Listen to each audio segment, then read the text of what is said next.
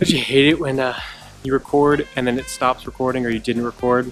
Alright guys, so I went down to Jerusalem today and I was able to do some, uh, do a lot of stuff. I went to the market, I did some walking around, checked out a few hostels, um, ended up changing my hostel because I found a really bad one. But this evening I went to this rock climbing gym, the Block Rock Climbing Gym. The Block Rock Climbing Gym. Super fun gym. It's actually not a rock climbing so much as it is bouldering, but it's basically the same thing except for one you use ropes and one you just use, you don't have ropes, you just have pads and whatnot. It was definitely a lot of fun. Um, I would definitely recommend checking it out. If you're in Jerusalem and you're trying to rock climb or boulder, bouldering right in downtown, the Block Gym. Um, south of here, there's another gym, but they're top roping more so, and they don't have. Both gyms aren't too big, but they are good good bouldering gyms or good gyms to rock climb or boulder in.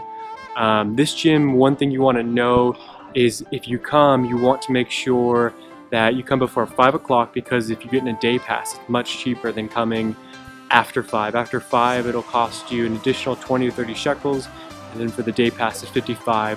That's about equivalent to 15 or so USD, and then for 50 shekels, and then for 75, 80 or so with all the gear, like shoes and chalk, It'll run you about, uh, I want to say that's about 80, it's like 20, $24 or something.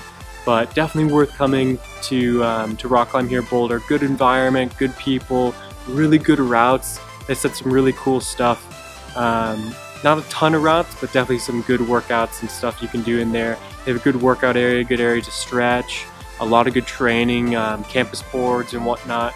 But overall, um, I'll let the videos do the talking and I'll let you guys go. If you want to see more videos like that, like this, subscribe.